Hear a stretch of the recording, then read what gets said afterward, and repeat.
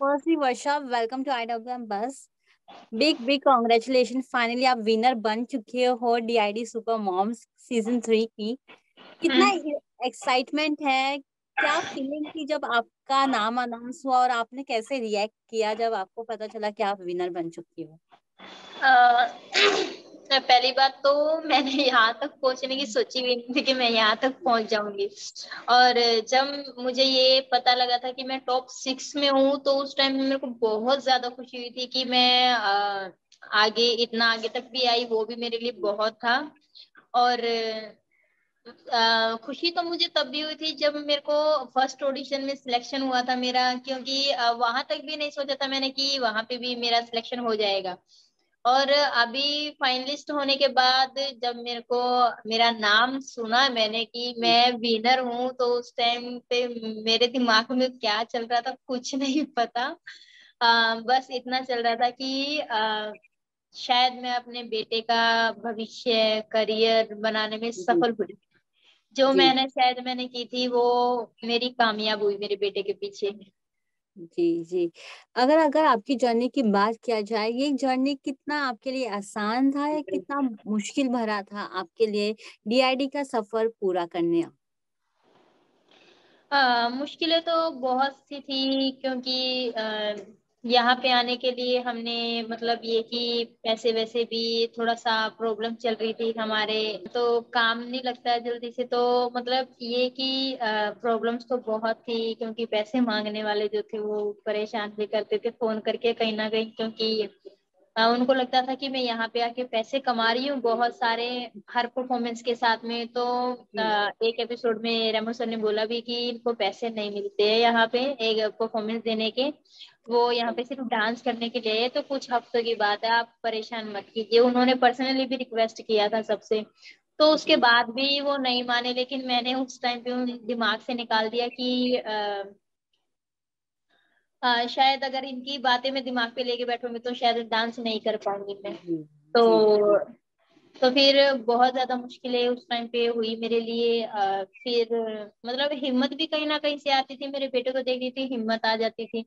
लेकिन काफ़ी बार ऐसे होता था कि मैं उससे भी नहीं मिल पाती थी। वो सो जाता था तो मैं जाती थी जिस टाइम पे वो सोया ही होता था। तो मुश्किलें मतलब ये कि तीन महीने बहुत मुश्किल से निकले बहुत मुश्किल से और बहुत ही मतलब ये कि मेरे लिए बेस्ट मोमेंट थे। यस यस वर्षा मैं ये जानना चाहूँगी जैसे कि शो में आपको कई सारे हेल्प भी मिले हैं रेमू सर और मीका जी से। हाँ क्या मीका जी ने कुछ आगे बात की आपके बेटे की स्टडीज़ पूरी करने के लिए? मैम अभी तो बात नहीं हुई लेकिन वो बोल के गए हैं जब आप हरियाणा में जाओगे जिस भी स्कूल में उसका एडमिशन करवाओगे तो मेरे को बताइएगा ज़रूर मेरे से जितना हेल्प होगा मैं आपकी हेल्प ज़रूर करूँगा। जी जी। और रेमो सर ने भी आपकी काफ़ी मदद की है उन्होंने भी वादा किया है कि वो आपका लोन पे करने में मदद करेंगे। हाँ जी हाँ जी। वो मतलब उस टाइम पे उन्होंने जो बोला था उन्होंने पूरा भी किया उसको उन्होंने पैसे दिए भी। आ, मतलब ये कि उतने पैसों में काम तो नहीं चला लेकिन आ, अभी जो हमने पैसे शो में जीते हैं उनसे शायद टेंशन मुश्किलें दूर हो जाएँगी। जी लेकिन उन्होंने काफ़ी मदद की है हमारी। जी। वर्षा मैं ये जानना चाहूँगी क्या आपको डांसिंग का शौक बचपन से था? क्या बचपन से ही आप हमेशा नो गाना सुनती थी तो नो मन करता था कि डांस करे अपने टैलेंट को सभी के सामने लेकर आए? उसको टैलेंट तो नहीं बोल सकते हम लोग क्योंकि शादी पार्टी में तो सभी करते हैं डांस गाना चलता है तो सभी का मन करता है डांस करने का। तो आ, मतलब अगर ये करियर के हिसाब से देखा है तो मैंने कुछ ढाई तीन साल से ही देखा है। क्योंकि आ, मतलब मुश्किलें इतनी ज़्यादा हो गई थी कि मेरे बेटे का स्कूल में एडमिशन तक नहीं करवा पा रहे थे हम। तो आ, कहीं ना कहीं हमें ये लग रहा था कि शायद जो हम काम करते हैं उसमें आगे तक कुछ नहीं हो पाएगा क्योंकि आगे आगे कितनी महँगाई बढ़ रही है। तो आ, फिर मतलब मेरे को वर्तिका मैम देखी मैंने उनकी वीडियो देखी। तो फिर उसके बाद थोड़ी सी उम्मीद हुई कि आ, शायद कुछ करना चाहिए। तो मेरे हस्बैंड भी बहुत अच्छे हैं जिन्होंने बहुत ज़्यादा मतलब सपोर्ट किया है मेरे को बहुत ज़्यादा हेल्प की है मेरे को। समझने में भी काफ़ी चीज़ें ऐसी होती थी कि आस पड़ोस वाले सभी मतलब थोड़ा सा ऐसे बोलते थे कि शादी हो गई है हरियाणा की तरफ़ बोल देते कि आ, शर्म नहीं आती है डांस करेगी अभी भी ये। हाँ। तो ऐसी ऐसी चीज़ें वहाँ पे नॉर्मली बात है होती रहती।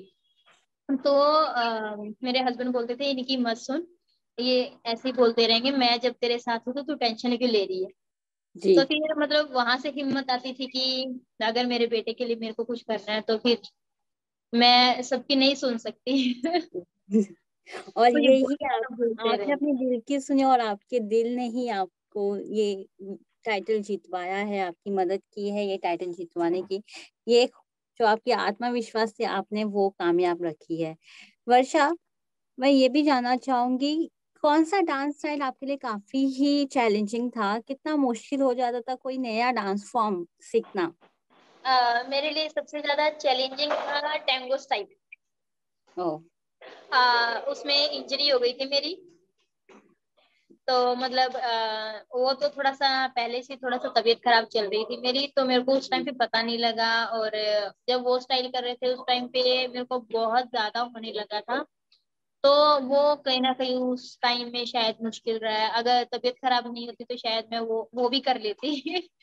तो मुश्किल मेरे लिए चैलेंजिंग तो कोई नहीं रहा है। आ, मतलब मैंने अपना कहीं ना कहीं जितना ही मेरे से हुआ है मैंने बेस्ट किया जी जी। कोई डांस स्टाइल है जो आपको अभी भी सीखना है? तो मैम मतलब ये कि मेरे को डांस स्टाइल है एक जो सीखना है। आ, क्या नाम है उसका नाम मेरे को सारे डांस स्टाइल के नहीं आते हैं। वैसे मतलब ध्यान में है। आ, लेकिन नाम याद नहीं है मेरे को उसका। आ, याद आएगा तो मैं शायद बताऊँगी। लेकिन काफ़ी सारे डांस स्टाइल सीखना चाहोगे आप कोशिश करो कि वो फॉर्म को सीखना आगे भी आप चाहोगे अपना डांसिंग ऐसी बरकरार रखना।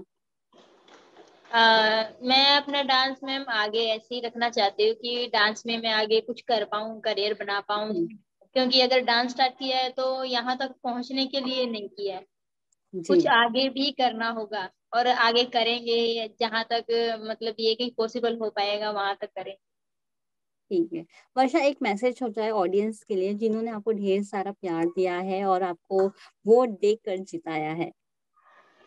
आ, ये ये जो बात आप बोल रहे हैं ये बात मैं मैं जितना बोलूँ उतना कम है। क्योंकि अगर मैं यहाँ पे आज हूँ तो सिर्फ़ हमारी ऑडियंस की वजह से हमारी देश की जनता की वजह से क्योंकि उन्होंने मुझे इतना सारा प्यार दिया इतना सपोर्ट किया है कि मैं आज यहाँ पे बिल्कुल विनर हूँ मैं D I D season three की।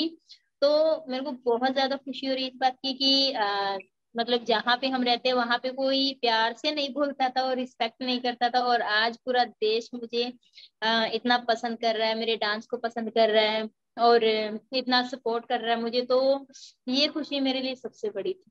तो मैं सबको दिल से शुक्रिया बोलना चाहती हूँ क्योंकि आ, उनका साथ था तो मैं यहाँ तक पहुँच पाई नहीं तो मैं यहाँ तक नहीं पहुँच पाती। जी।